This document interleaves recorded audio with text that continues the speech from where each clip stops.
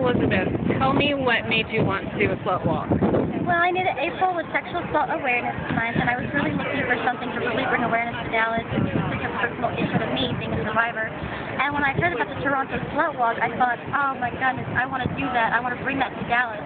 At the time, I had no idea it was going to blow up the way it did all over the world. And so I'm just, I'm so pleased to turn out Dallas. And that's what got me started. How do you think things went today? Amazing. Everyone looked amazing. Everybody was dressed in, I mean, there was so much different variety in outfits. So, you know, lingerie to sweatpants like myself. And everyone sounded great. Everybody was so empowered and